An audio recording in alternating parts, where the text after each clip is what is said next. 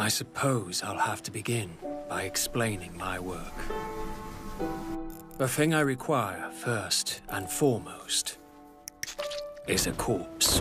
The strange interest of an outstanding London University medical student.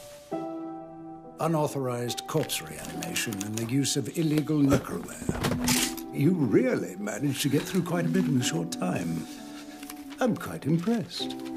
Do you think I never expected to get caught? So let's make a deal then, shall we? Victor's notes are exactly what we've been searching for, Friday. It might even prove your theory true. Investigate the Corpse Kingdom and secure Victor's notes using any means necessary. Can you speak? What's your name? Tell me your name! You went out into the world. Hear me, Charles Babbage! Track down the one You sought the notes. You sought the soul. and teach me the secrets of the soul. Guide all of mankind to its salvation! The rest is up to you! Then at last, I see fate laid you by the hand. Promise me. You found your way here. And thus, the result is this.